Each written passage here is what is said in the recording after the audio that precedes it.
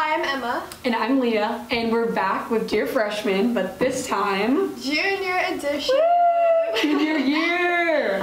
Um, yes, so we're gonna be answering questions about junior year specifically and giving you our advice, our, our deep wisdom as always. Yes. So let's dive right in. First question When should you start studying for the ACT?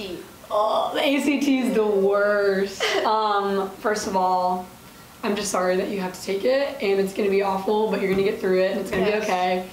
Um, I started studying, so I took it the first time the summer before my junior year, um, and that was weird because it was COVID for us, so they didn't really have like Yeah. as much prep classes and things like As that. I do now. Um, but I studied like the fall of my junior year, and then took it in December. What did you Yeah, that's what I did, and I actually took some classes. So I took some one-on-one, and I also took some um, like group tutoring. But I took the test on its own. For I did some like study on my own, and then I took the test, and then I did some group and some one-on-one, and then I took it one more time.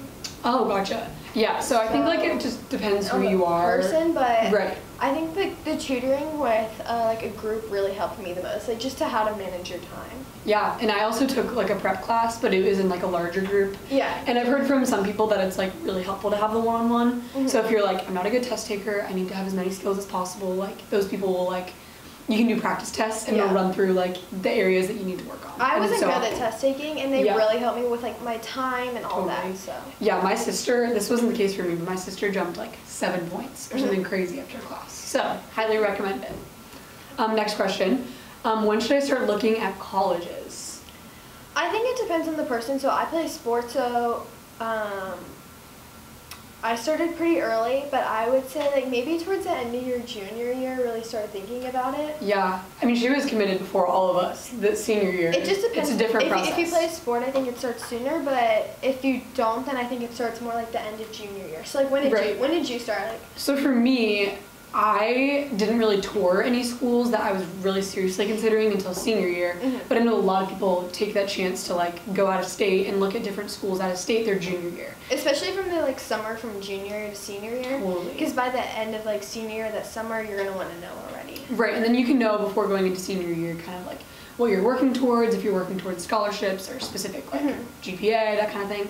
Um, but for me, I always knew I wanted to kind of look in state, so that kind of like narrowed my possibilities a lot. But I know a lot of people start the end of their junior year. So like second semester junior year, look at those schools, like do some research, and maybe book a few tours. Yeah, I think like at least do like one, so then you have an idea if you want a big school or a small school, just like to get an idea more. Totally. I actually I ended up touring like the summer after my junior year, I think, or maybe it was in the middle of my Yeah. junior year, and I just went with one of my senior friends who was actually considering it. Um, and that's when I went out of state, and it was so good to see like the big public schools and some of the smaller ones. So you get an idea. Yeah, so maybe go with a friend. And then the next question that kind of goes with that one is like, when should I apply? Um, I would just say like maybe This is kind of going into like the halfway- senior year edition. Halfway through senior year. I would Don't worry about it junior year. Yeah, I mean, I know there's like a class at the high school. If you're a junior, maybe you've taken it or you're going to take it a semester. It's like College 101. I would highly recommend it. We can talk about that in the next episode, senior year. But I know there's like a junior year edition where you can talk about like when to start all these things, In junior year you can get really ahead. But I started first semester senior year. Yeah, but like you prepare for it your junior year, so like your senior essay you'll write junior year. So all of your all of your preparing is like junior year, but then Right. you'll actually apply senior year. Right, or like the clubs you're in, or the things that you're like Mhm. committed to, you're gonna put those in your Common App, and like it's kind of the grunt work from your junior year, like your test scores and your grades that are gonna go into Yeah. your Common App. So keep focusing on those things, and the Common App will fall into place. It'll be good. Um, next one, is it a good idea to get a job junior year? Because junior year, I'm sure everyone has heard, it's just like a nightmare.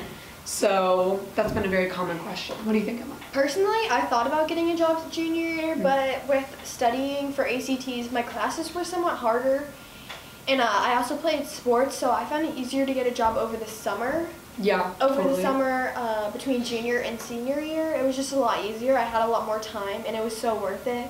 Because then you have like money in your bank account ready for senior year Yeah, totally. when you have more time. Right. And then you can keep that job into senior year. Yeah, I think summer jobs are huge, especially if you're in a sport. So for me, I actually did have a job junior year. It was through the school year.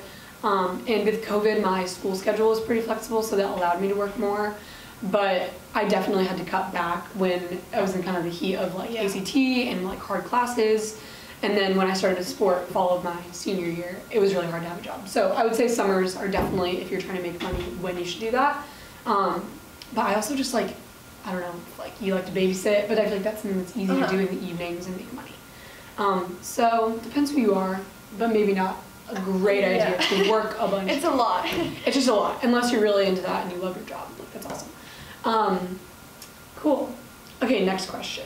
Do you want to ask that one? Is junior really as bad as people make it seem? The question, the question of the episode. Is it as bad as people make it out to be? oh. Let us think about this. Put our thinking caps on. Yes. I just agree. think it's a lot. I think it's it's a as lot bad of, as everyone says it is. It's a lot of studying. It's a lot of hard work, but I think it really prepares you for college. Like you're gonna have Yeah. to do that in college.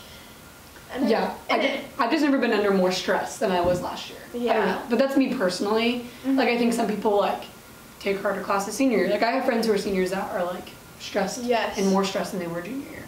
But I don't know. I think for us too, our grade like mentally we're just like kind of finally coming out of the pandemic. So I feel like everyone just kind of hit a wall yeah. socially and was just like I'm done with this. I did my Yeah, be- that's I did my best junior year grade wise though. Oh, look at But you. I think it's just okay. I think it's just because like I was so like I really needed to try and Right. and I focused down. So there was nothing else to do. Just trying at school. Yeah. Pretty than much. studying Emma and her books. I Right, Emma. Yeah, catch Emma with her books always. Okay, next question. Um, what is different about finally being an upperclassman? You make this transition from sophomore year, and you kind of know your way around the school. You know your way around things. Now you're But now you're kind of like upperclassman. climbing up the food chain. Oh, upperclassman. How does how does that shift happen? Was it different? Do you feel like it was different? Um, no, not not too much. Um, Yeah. I kind of noticed a difference because like I feel like the freshmen and sophomores like looked up to you more, Yeah. and not many people noticed the difference between juniors and seniors. Yeah, I feel like every year, I'm sure, like whatever grade you're in, if you're watching this, like it gets weirder every year. You like You feel get in old, yeah. As you get as time goes on, you can see like a difference as you like right. grow up, you mature, you feel older. I feel like people, Like being seniors, like yeah, so I feel weird. like people like look to you more, look Yeah. up to you more as Totally. a junior than a senior. They'll like look to you for advice for like a class, or they'll ask you questions about Yeah. like, hey, should I do this? What about this club? What about this sport? I feel like Totally. because you have more experience in the school. Yeah, no, I totally agree. And it's weird, like the older the grades you get up, like you just get surprised every time a new grade that's younger than you comes in. Uh-huh. And it's just like an opportunity to like Welcome. be a nice person. Yeah. Like whenever I was an underclassman and like a junior or senior like said hi to me or knew my name, I was like, this is so cool. Like I just I thought the same thing. Yeah, like, so oh just like if you're a junior, like do that for other people or when you become a junior.